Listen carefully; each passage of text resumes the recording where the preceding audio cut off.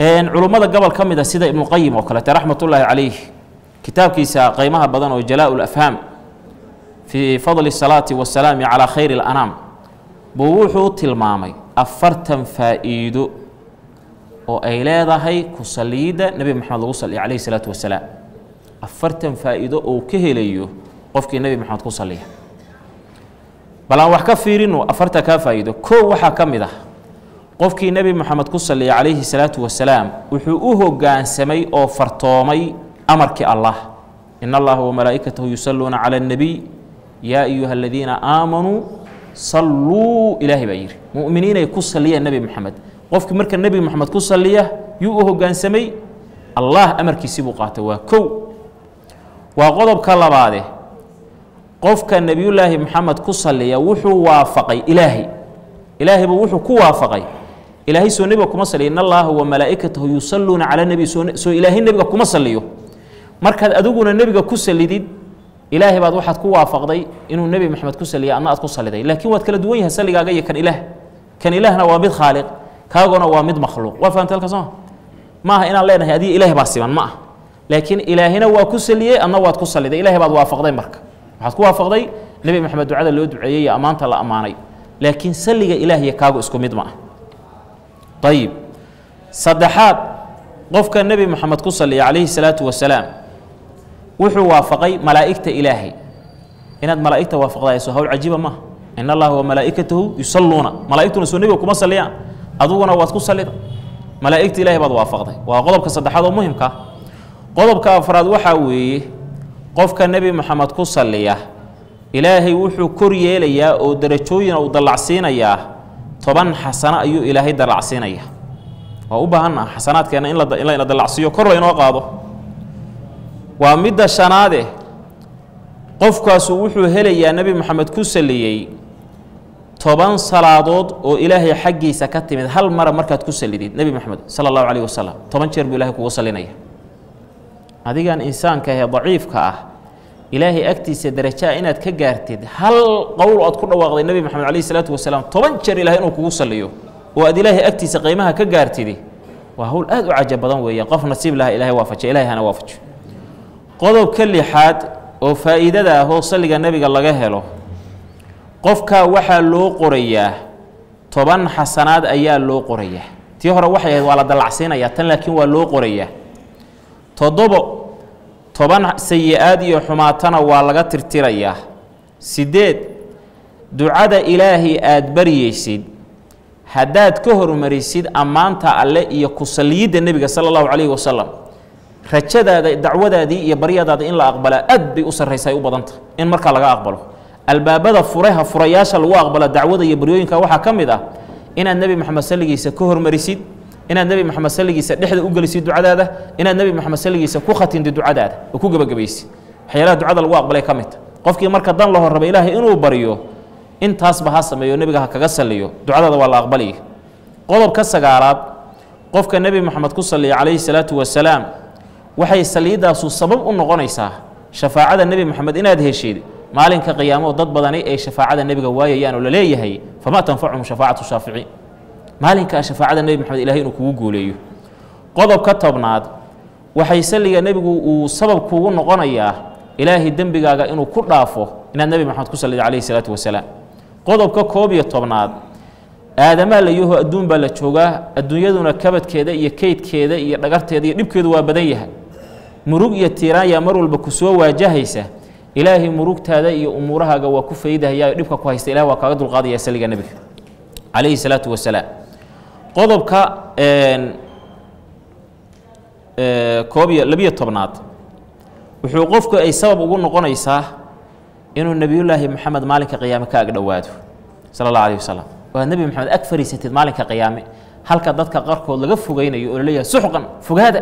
Nebi moxamed darkiisa laga cayrinayo inaad nebi moxamed ka ag dhowaatid ayaa waxaa ka qayb qaadanaya inaad nebiga ku salida calayhi salaatu wasalaam. Qeybta saddex-iyo tobnaad qofkii aan waxaysan uu sadaqaysto. Hadduu salliga nebiga badiyo calayhi salaatu wasalaam qof wax sadaqaystay oo kaleu la mid noqonaya. Qof wax sadaqaystay oo kale ayaad la mid noqonaysaa haddaad salliga nebiga badisa calayhi salaatu wasalaam waa hagaag.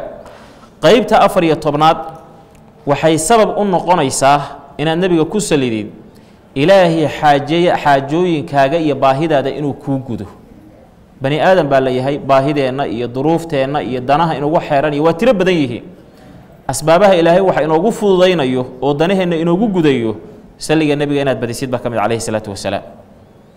Waxaa qodobka shan iyo tobnaad uu yahay salliyidda nebi moxamed uu lagu salliyo waxay sababaysaa inuu adiga ilaahay kugu salliyo.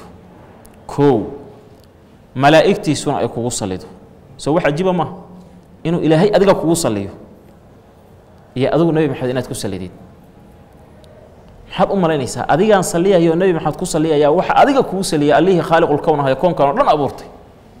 Fadli intee la eg bay marka leedahay ba umanaysaa salligaa nebiga qodobka lix iyo tobnaad qofka nebiga ku salliya salligaa nebiga wuxuu u sababayaa inuu ka helo dahaaro iyo nadaafad xagga qalbiga iyo iimaaniyaadkiisa oo ilaahay duhri uu kaa siiyo iyo wanaag qodobka toddobiyo tobnaad.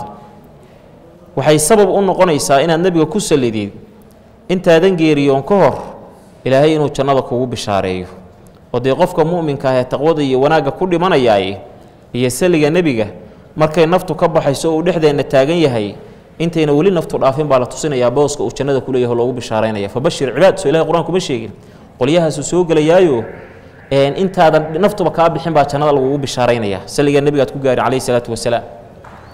Qodobka siddeed iyo tobnaad waxay sabab u noqon inaad nebiga ku sallidid ilaahay ahwaasha iyo dhibaatooyinka iyo mashaakilka maalinka qiyaamo taagan inuu ilaahay kaa badbaadiyo oo kaa sabata bixiyo. Oo aad noqotid ruux munji najaad ku dhaco munjianoo la badbaadiyo. Qodobka sagaal iyo tobnaad inaad nebiga ku sallidaayo waxay sababaysaa wixii aad halmaantay inuu ilaahay dib kuu xasuusiyo. Maalan qur'aan baad halmaantay adkaaraad akhrisan lahayd baad halmaantay nisyaankii iyo ilowshaha kugu batay salliga nabiga badi sal alla alayh wasalam haddaad wax halmaantay ilahay xuso ilahay qur'aanka inuguma odhan salliga nebigu xuska ilahay ka tirsan yahay ogow waa dikriga ilahi iyo daacada iyo qurubaadka ilahi loogu dhawaadu ka mid yaha marka haddaad salliga nebiga badisid daakiradaada iyo xusuustaadu way xoogaysanaysaayee fahmadara kugu mayso insha allahu tacaala qodobka labaatanaad waxaa cajiib ah qofka nebi moxamed ku salliya ama salaama assalaamu calayka yaa rasuula allah qofka yidhaahda. Ama allahuma salli wasalim calayka ama calaa nebiyina yidhaahda. Nebi moxamed oo qabriga ku jira calayhi salaatu wasalaam baa kuu jawaabaya tos buu jawaabta kugu celinaya nebigu. Markaasuu muxuu ku leeyahay adigana allah kugu salliyo ilaahay ha ku salaamo. Ma u malaynaysaa dacwada nebi moxamed uu kuu duceeyey in lagu soo celinayo rajadu aad bay u sarraysaa marka. Ilahay dacwadaa nebi moxamed inuu kuu aqbalo. Asagoo qabriga ku jira oon adduunkaba joogin inuu nebiga kuu soo duceeyo kaa aqbalo ilaahay adigana ha kugu salliyo ha ku salaamo u ku yidhaahdo qodobka koob iyo labaatanaad. Waxay sabab u noqonaysaa salliga nebigu uu sababaya. Meeshaa aad fadhiday ee nebiga aad kaga salliday goobtaasi inay noqoto goob wanaagsan oo dayib ahoo salliga nebigu fadhigii iyo fagaarihii u qurxiyo udgiyo sababtoo horey baan waxaan u soo marray qofkii qoladii meel fadhiisato oo aan ilaahina xusin nebigana ku sallin. Meeshaasu inay noqonaysa meel qarmuunoo sii dameerkii bakhtigiisoo kale soomayna soo marin cagsigeeda haddaad ilaahay xustid nebigana ku sallidid. Majliskii wuxuu noqonayaa majlis udgoonoo wanaagsan oo daaco ilaahay ku udgoon ayuu noqonayaa marka fagaaraha iyo meelaha la isugu yimaado salliga nebiga udgiyo wanaajiya. Xasre iyo qoomamo iyo shallaytana kugu noqon maysa meeshaad nebiga ugu salliday calayhi salaatu wasalaam. Qodobka koob iyo labaatanaad salliga nebigu waxyaalaha lagaga baxa waxaa ka mid a faqriga. Halkan dad baa laga yaba in yirahn wallahi meeshaas waxbaa ku jira. Oo maxabadii kale iyo weynayntii nebiga intay iska daayan yirahan shala gal waxbaan maqlahaye tusbax weyn inuu u qaato suu faqri uga baxo. Hungurixumada intaa leeg maxay ta maad ku dadaashid jacayl iyo maxabo nebiga aad u qabtid faqriga dadka gaajada haysato iyo kuwa dharagsan ilaahay baa hawshaa maamula. Jacayluu ilaahay ku jecel yahayna kuma xirna in wax lagu waasiciyo. Nicayb ilaahay uu ku nicib yahayna kuma xirnee waa hawl ruubiyada ilaahay ku tacalluqayso yabsudu risqa liman yashaau wayaqdir gal iyo muslimba kuu doonay ha noqdo. Ilahay baa hawshaa u taallaa. Faqriga in lagaa saaro iyo inaad tanaad hodan noqotidna waa kala labo. Wax yar adoo haystaad faqriga ka bixi kartaa iyo qalbigaaga ilaahay qine iyo wuxuu kuu gelin karaa qanaaco. Marka asbaabta faqriga lagaga baxo ayay ka mid tahay ayuu ka mid yahay salliga nebiga calayhi salaatu wasalaam. Qofkii nebiga ku salliya wuxuu ahaanayaa qof deeqsi ah waxaana ka baaba'aysa shaabadda ah inuu bakhiil yahay.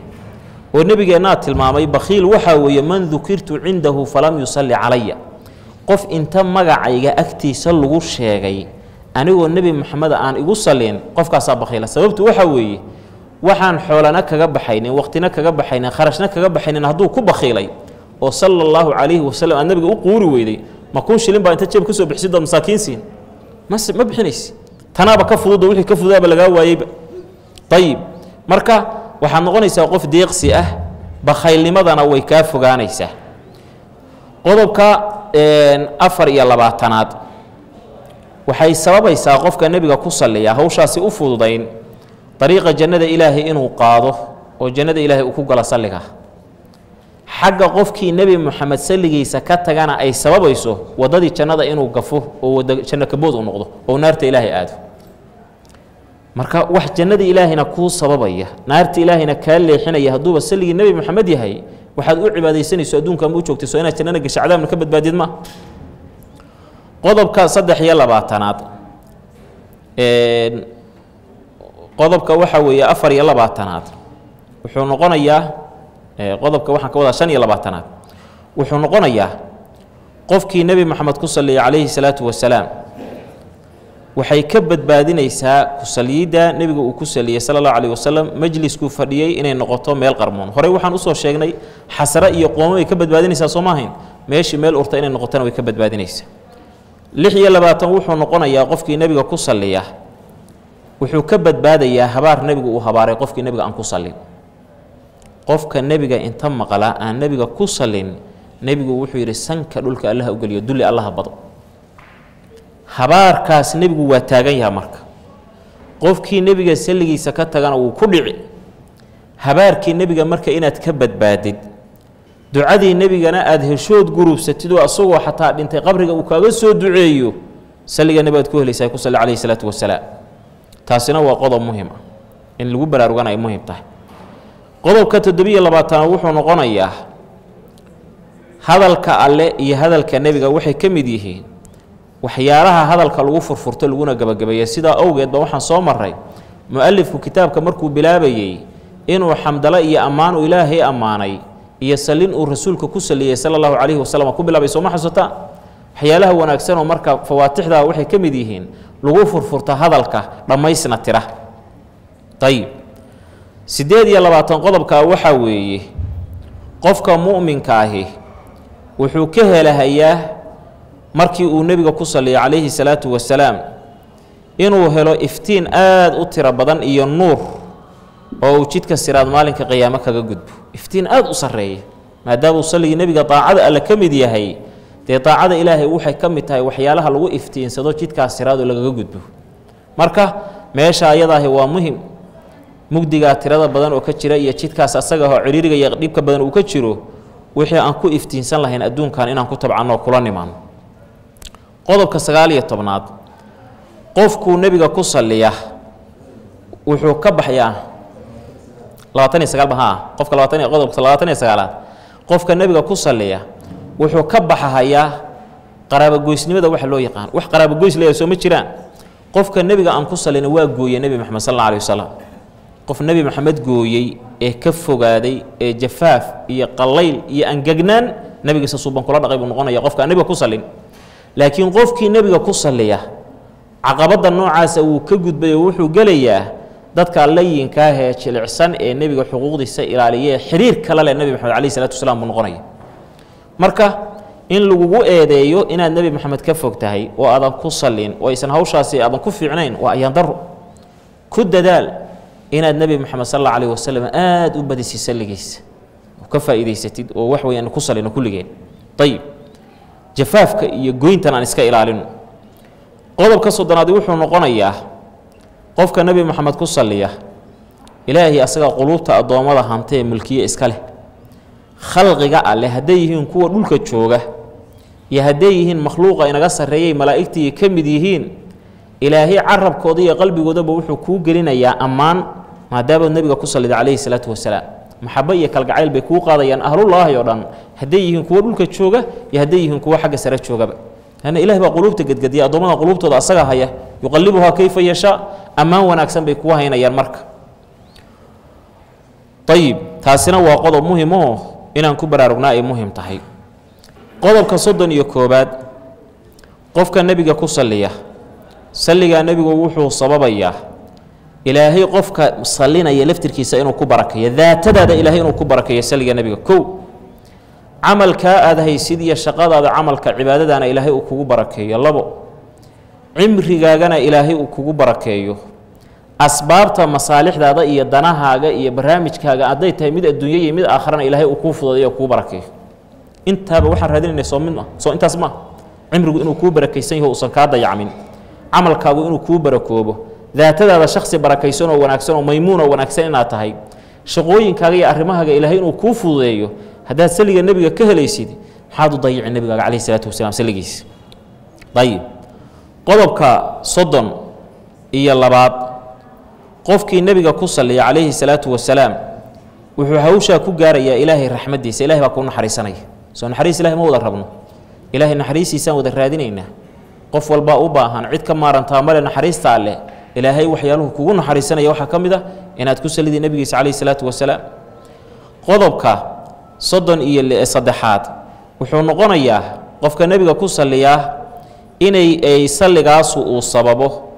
Jacaylka rasuulka aad jeceshahay inuu noqdo jacayl joogtaahoo daa'im ah oo weliba sii ziyaada oo weliba sii labalaamo oo sare u sii kaca oo kor sii aada markaad nebiga salligiisa badiso daacad kaa tahay. Qodobka soddon iyo afraad qofka nebiga ku salliyaay waxay hawshaasi sabab u noqon inuu adigana rasuulka alla ku jeclaado. Waa hawl qaaliya soo maa inuu ilaahay rasuulkiisu adoo hebela iyo adoo heblaayaa ilaahay rasuulkiisu inuu ku jeclaadaay hawl aad u sarraysa weeyaan. Salliga nebiga laga helaayo ilaahay dartii ah. Calayhi salaatu wasalaam. Aada ugu sallinaysid.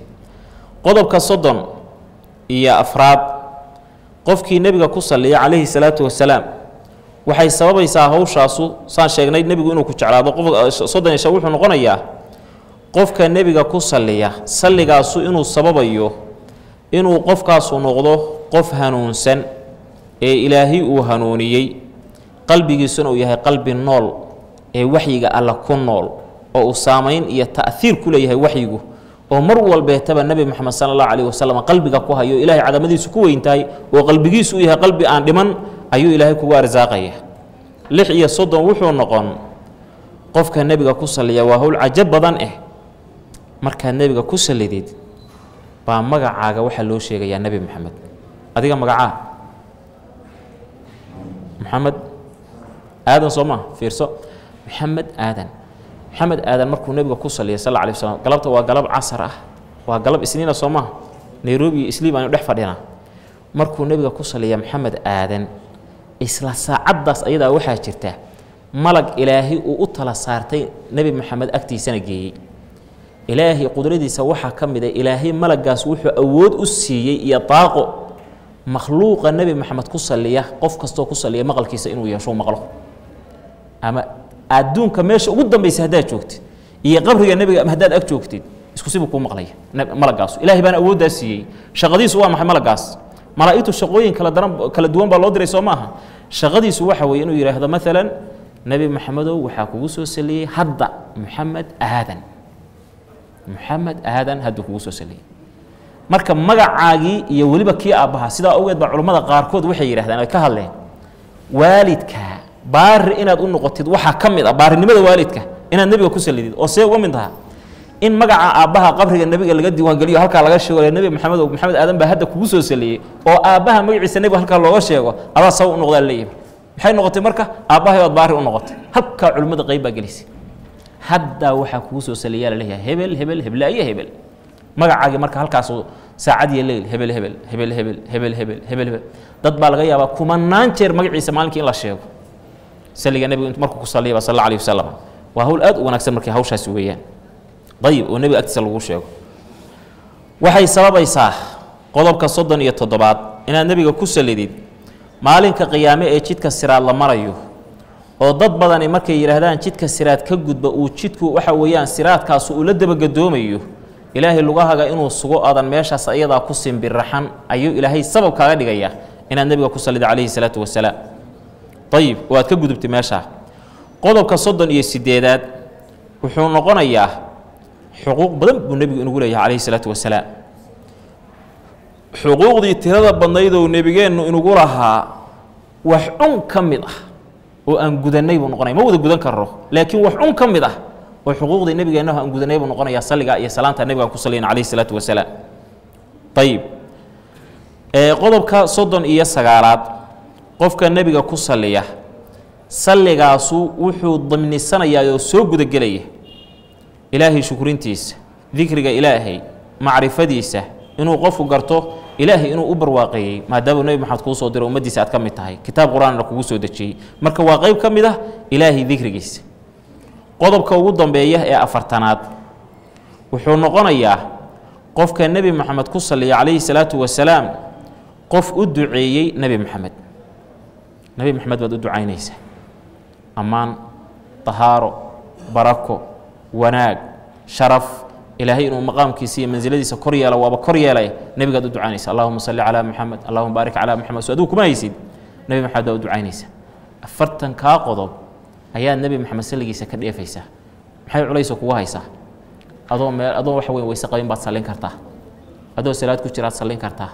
Adoo soconayaad sallin kartaa. Adoo baabuur saaran baad sallin kartaa.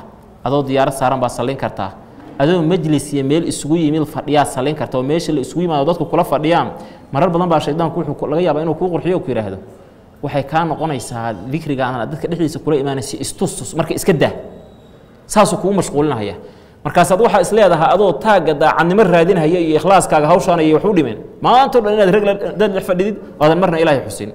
Hadhowna iska tegtaadoo sidii ah. Majliskaagii marka muxuu ka dhigay majlis urhaya soo ma ah. Hadhowna qiyaamada xasra iyo qoomo kugu noqonaya saasuu rabaa shaydaanku dadka dhexdooda waxa weyan showgan iska dhaaf waxba ha sheegin makhaayadaha meelaha raggu isugu yimaada dan ha ka geli. Waxaa markuu kugu sheekeeyo waan ku aqaanaa ku dheh. Ha ka yeeli. Salli nebiga salligiisa calayhi salaatu wasalaam adkaarta ilaahay akhriso subxaana layso waad ka faa'idi